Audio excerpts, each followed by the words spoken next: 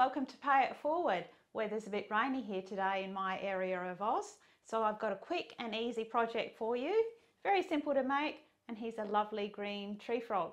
You can make them up in any colours you like, of course, and of course there's a free pattern. All you need to do is click on the link in the description below, download your free templates, and I'll show you how it's done. So let me show you the things we'll need to make a little frog today. And the first thing that we're going to need are our top pieces of our frog, these two sections here, and they are both cut from, I'm just using a quilting cotton with fusible webbing applied to the back. Now from there, I actually take my paper off, starting at the bottom of the foot, which is easier. So I remove my backing paper and then I'm just going to fuse using a hot iron and a protective cloth I'm going to fuse that little piece onto my felt. And what that's going to give me I'm going to press that one on. What that's going to give me is a piece of felt fabric.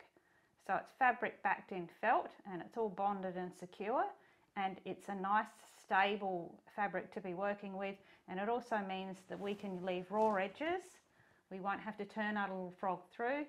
We're going to be able to leave raw edges and they're not going to fray away. So that's the reason why I'm doing that. So I'm just going to take that one and press that one on. Now that I have my, my little pattern piece fused to my felt, you can see then it's quite simple just to trim away the excess felt and then we get a lovely clean edge. So it's just a matter of cutting that one out right the way around that pattern piece. So now that second one is cut out so they both have that nice felt backing. So the next things that you'll need, we're going to need some eyes for our little frog and I'm using safety eyes here today. You can of course use just ordinary buttons.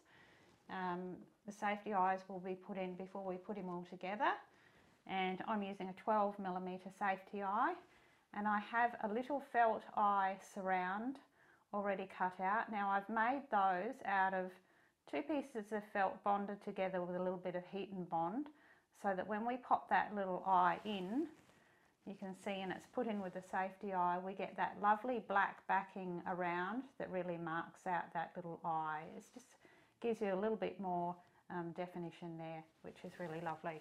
And the next thing we'll need is the base for our frog. So we've got our little base and I have made that fabric up in exactly the same way as I did these, except that I've just joined my fabric and my felt together in one big rectangle piece and that's ready to for us to lay our little frog out and, and stitch him straight on. So just a piece that will accommodate the size of that one is actually the size of an A4 sheet, which most of your felt squares you'll find are. You'll also need some uh, embroidery thread or some pearl cotton and I like to use a nice bright red for his little mouth to be stitched in there and a little bit of black also for his little nostrils. We also need to be able to fill him. We need a small amount of polyester filling. It's just a tiny bit that we need. The rest you can fill with, I use just dried rice um, you can use, uh, if you're lucky enough to get toy plastic pellet fill, you can, you can use that. Um, I find that the rice or even dried barley, something like that, works really well and I actually throw in a little pack of silica gel. You get these when you purchase shoes and packaged goods and that sort of thing. You often find these in there.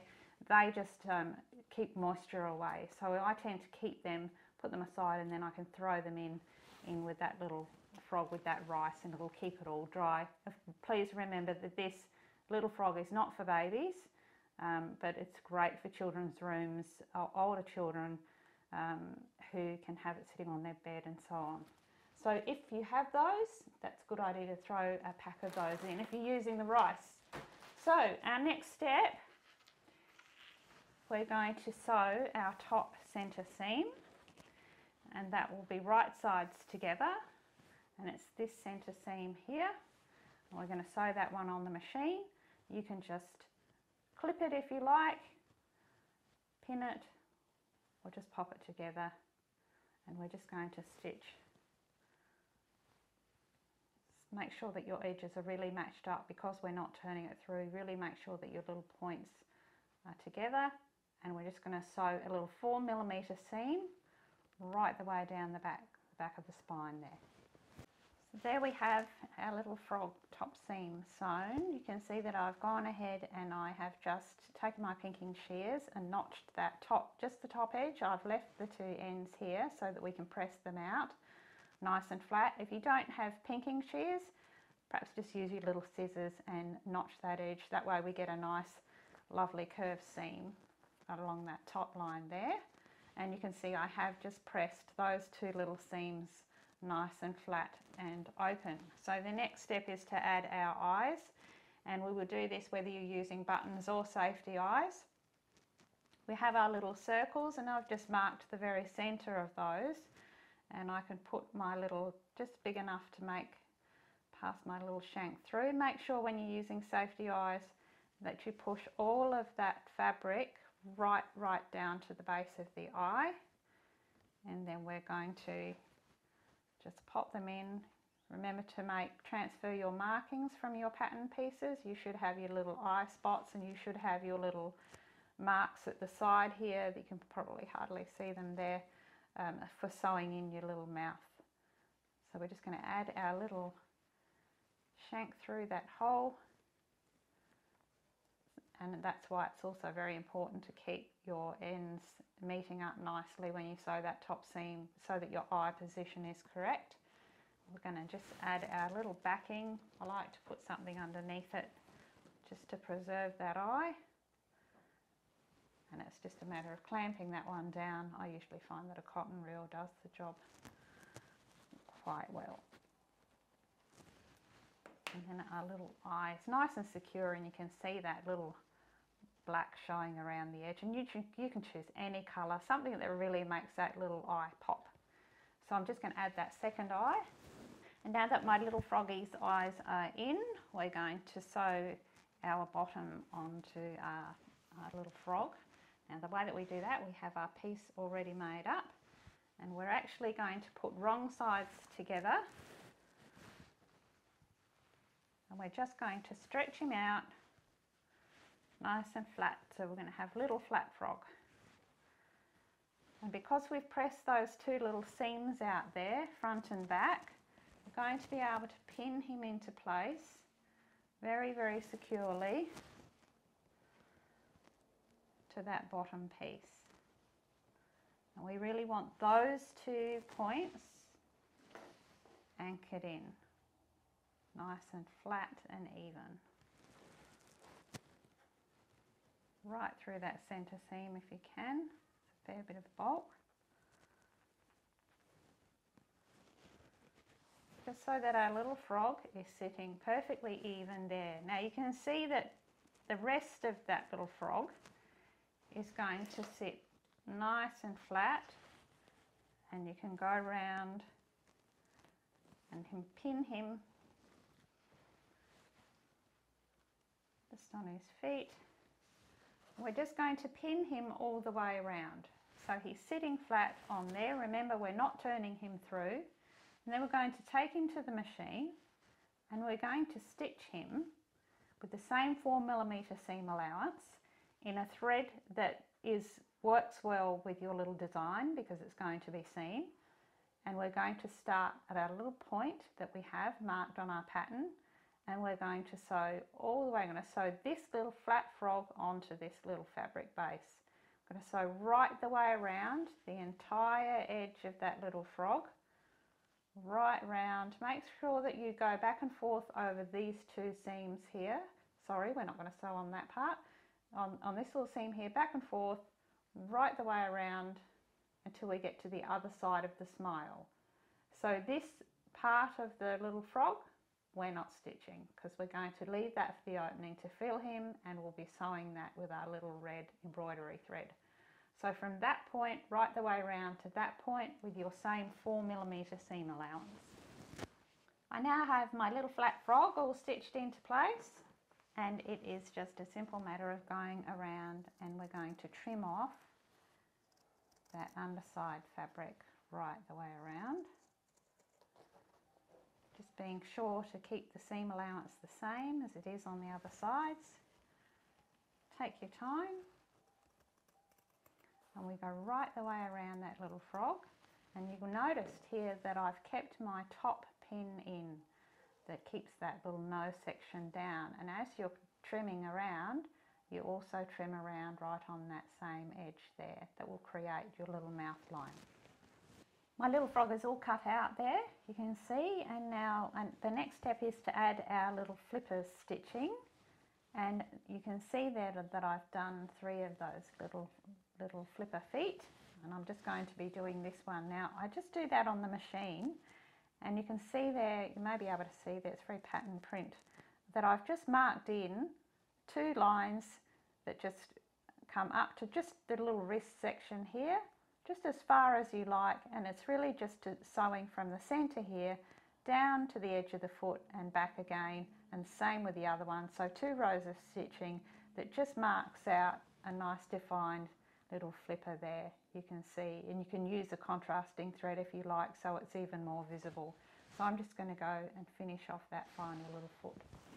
So all my little flippers are sewn now. My next step is I'm going to remove that front pin there and while we have our whole little mouth open here I'm just going to add a little bit of filling to just four areas because he's going to be filled with his rice or his beans, whatever you're using. But I'm only going to fill out just right here, his little ankle section here and his two little wrist sections. A couple of tiny pieces just to fill those out because the, the rice or your pellets won't travel all the way down to those sections but we still want them to be nicely filled out. So I'm going to use my forceps here and I can go in through his mouth and find my way all the way down to that little ankle section. And you'll see that the your little flipper stitching stops that stuffing from going all the right the way down. So we keep a nice flat little flipper there. So it's just a matter of adding a few little pieces and you'll find that because we have that inside of that little frog is felt it'll hold on to that that stuffing quite well and it will keep it there in place so I'm just going to do both of those ankles and just that little wrist section there. So I have my little wrists and ankles nicely filled now and we can go ahead and start to sew up our little mouth. Now if you want to add some little nostrils like I have on this one, because this was quite a plain fabric, I've just added two little stitches there using just my black pearl thread. You can use embroidery thread two little stitches either side. You can see the placement of those. I've put them in on this one because he's quite a plain fabric and they'll be quite visible. However, this is quite a busy print and I feel that those little nostrils will probably get lost in the print there and maybe make it just look a little bit messy. So I'm not going to add nostrils here. He's certainly just as handsome without them. So what I'm going to do is start to close our little mouth opening. Now we're only going to close it just over halfway and the reason for that is it's much easier to add our little rice or our filling if the opening is slightly smaller and then it's not coming back out at us. So I have my needle threaded with my, my red pearl thread and I just have a knot at the end and we're going to start so move that little flipper out of the way and we start to sew this mouth. I'm going to start right down here where our stitching finished. We're going to take our needle, dive in through the layer of felt and come out between those two. Just to start our blanket stitch. Now I do have a video that shows you how to sew the blanket stitch if you would like to see it in more detail but we'll just do a few stitches here now. Now you see that knot has held that one nice and firm and I'm going to go through both layers the same depth a little stitch is probably about three millimeters across and three millimeters deep to keep a nice tight defined little mouth line in there. So there's my first one. I like to hold that over my finger. Then I'm going to add my second stitch. And your blanket stitch, your thread comes out, your needle and thread comes out through that loop each time. And it's that little loop that gives us that nice little binding edge. So I'm just going to make my way around that, that little mouth line, keeping my stitches nice and firm and even and making sure that you're going through both sides of the fabric at the same depth and make sure you're rotating your work as you go so your stitches keep going out nice and straight right the way around. So you can see there that that little stitch is going to line out that mouth really beautifully. So I'm going to continue with that stitch right round till just past that little nose line. So probably about a centimetre and a half past that little, nose line and then we're going to leave our needle on. So my stitching is done and I've left my needle and thread on and I have made myself a little cardboard funnel that's going to help me add my rice through that little section there. And so this is the section left open on my little frog's mouth and I can just pop that one open and I will sit my little funnel in there and then it's just a matter of adding my rice and letting that all slip through and filling that little frog as you add each little portion of rice you just want to work that rice right down into his little leg sections shaking it down working it in and you'll find that it'll fill up all the way down to here and we want to fill him up right up as far as we can without it all coming back out at us and then we're just going to finish off with a little bit of polyester filling. So there I've added as much rice as I can pack in there. You can see quite full, almost to the top there. We've still got some room to be able to settle that rice into those little shoulders there. But for now we want this little top line to be nicely pushed out and so we just add a final little bit of polyester filling into the side there which will just plump out that little front section of his mouth and the top of his head and it also stops all that rice coming out at us when we're just closing that final opening. So just add as much as you feel you need just to fill out that front section because you want that little top line to be sitting nicely curved. And once it's all in there you can adjust it afterwards. Your rice can certainly be moved around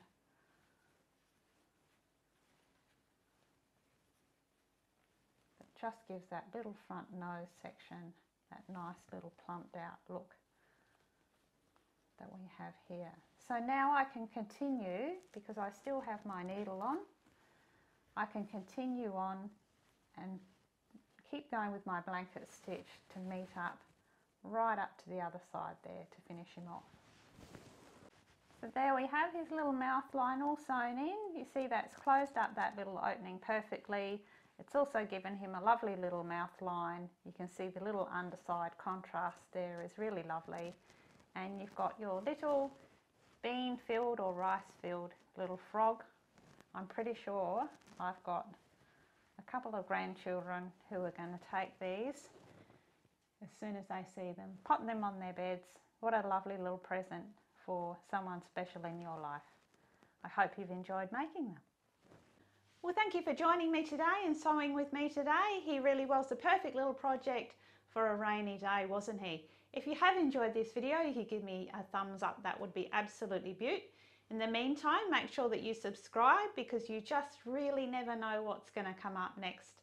I'm sure I'll surprise you. So, most of all, everybody, remember if something good comes your way, remember to pay it forward. Until next time from me, it's hooroo.